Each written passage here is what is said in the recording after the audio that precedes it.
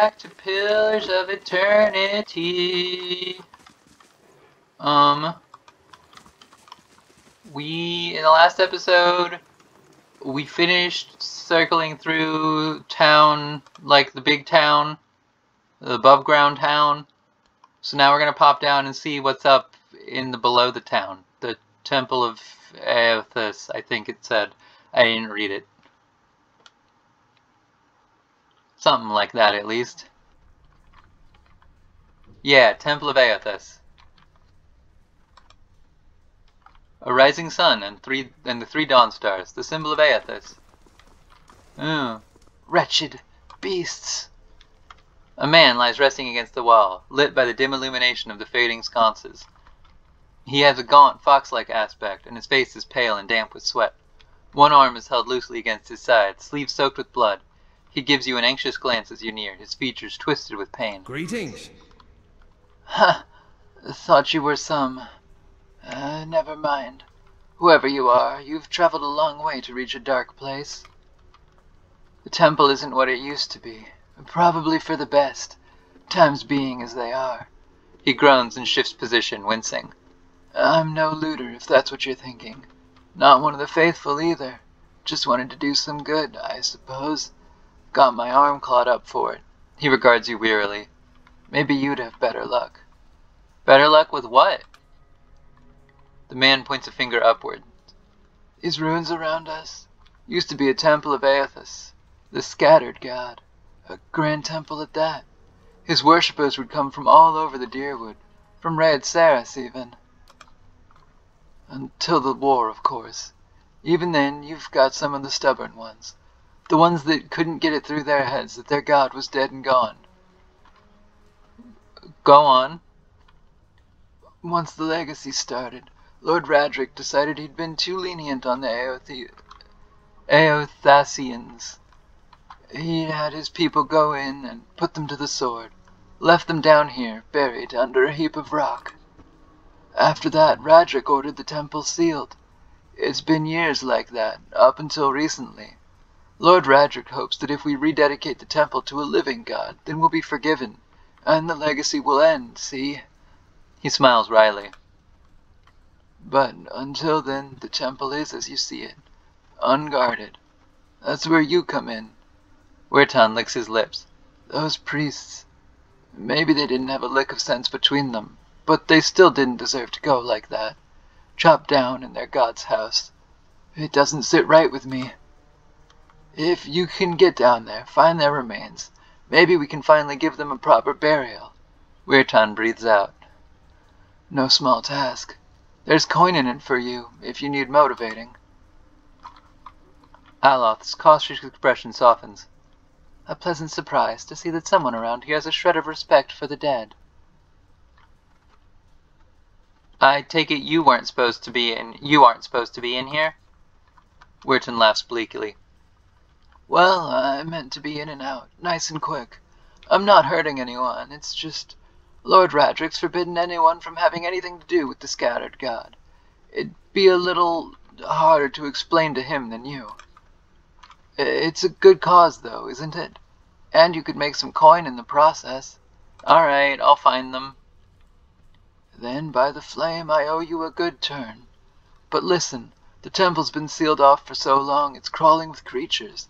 But if you get past them, the priests would have been down on the lower floor. They'll still be there, if they're anywhere. Those priests had all kinds of secret chambers, switches in the walls, trick sconces, that kind of thing. Keep an eye out. And take care down there. I wouldn't want to have to send someone else after your remains.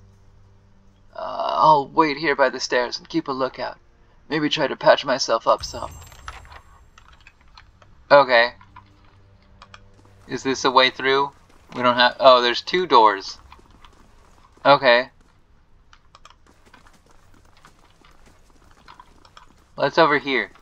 We're just gonna stick to the left... The left wall. And make sure we find every room. Because that's how mazes work.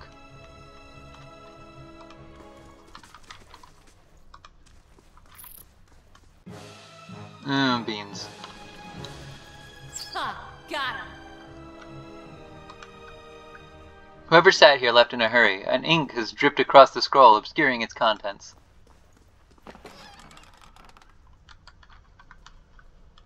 Hmm.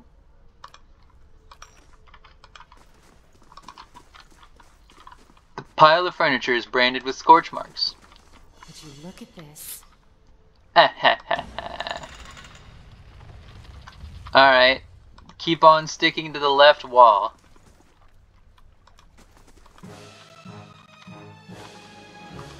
And another scold.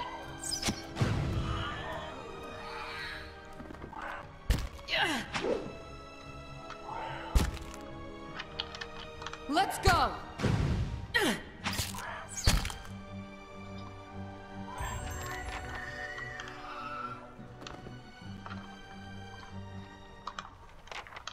These collapsed stones are pocket, pocked with burrows and narrow crevices. Claw marks and dung mark the passage of beasts. Stay left.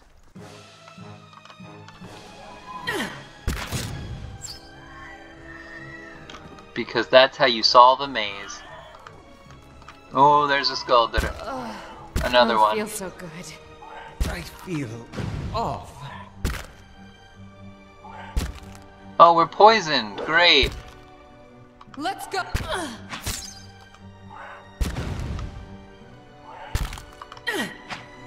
Yeah. Ah, Ulu Sen.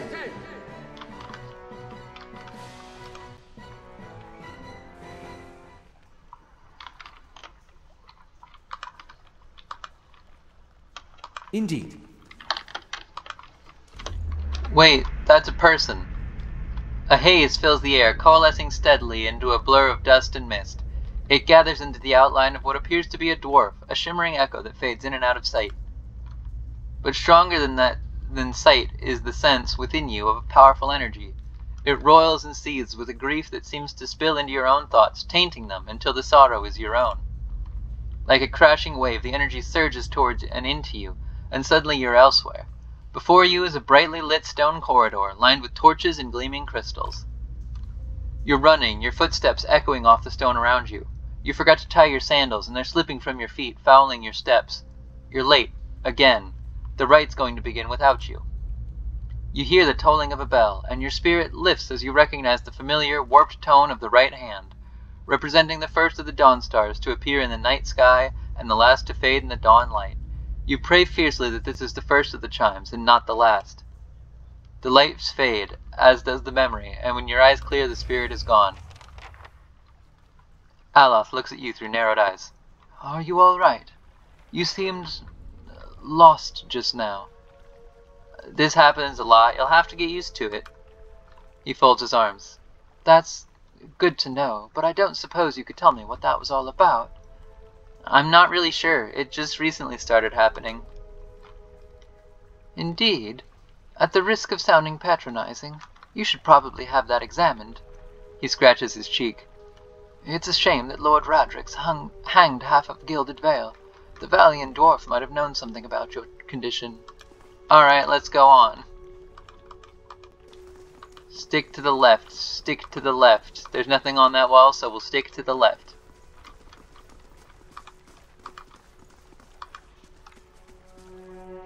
Powerful odor of spices rises from one of the dishes.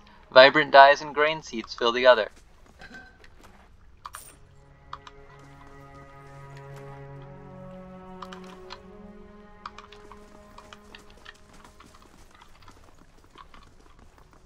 Can't get lost in the maze if you stick to the left. Ooh, we triggered a trap. And I died about it. Oh, I don't feel so good.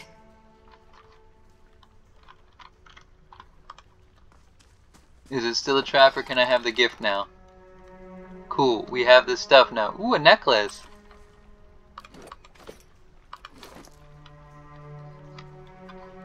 A necklace is good, it will keep me alive. Oh, but does that mean I don't get to wear my snazzy cape anymore? Is that the same slot? It's the same slot. Alright. You, have a cape.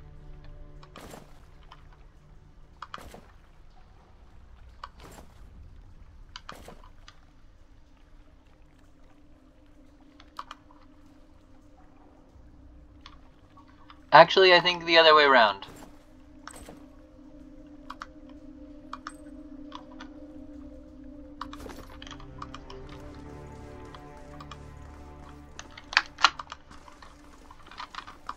Stick to the left, stick to the left. Don't change floors, but stick to the left. Uh, we can't pick that yet. That's hard.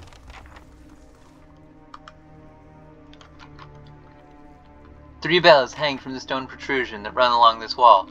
Years of dust and grime coat the metal. There is one large bell at the center, flanked by two smaller ones. For now, we aren't going to touch it, because we don't know the pattern yet. I'm guessing we need the pattern, though. The That one ghosty told me something. Can I look at the, the chat log history? Is that a thing I have access to somewhere?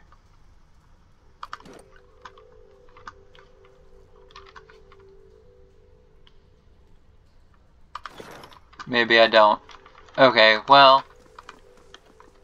Vermin have scoured these plates, though mold still grows in green-black clumps across the table. Oh, yummy.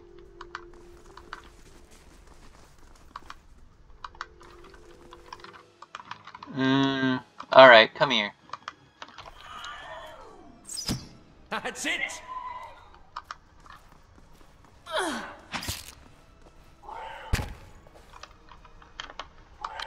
Why aren't we attacking it? Why are we just like vibing? Come on, gang. Be smart. To His Grace, I write to implore. The rest of this letter is crossed out in several places, then abandoned altogether. Ooh, a sword.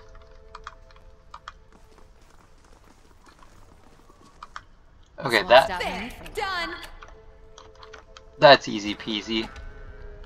A warhammer, like a one-handed one.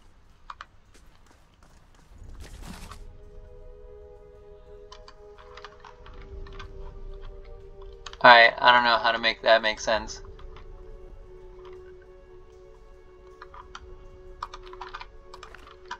I was hoping that one of those books would have a hint for the puzzle. Looks like no. These prayer scrolls are coated in a thick layer of grime and dust.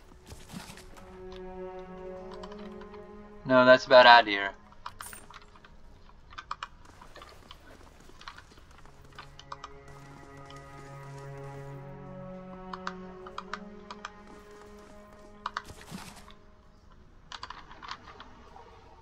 Dunryd Row, no. Monsters in Deadfire? No, none of this is helping me solve the puzzle. And so I'm grumpy about it for some reason.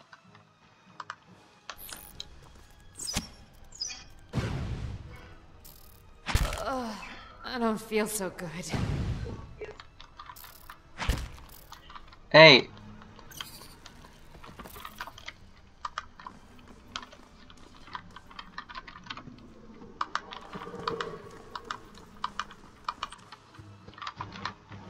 There's so many spiders in this place.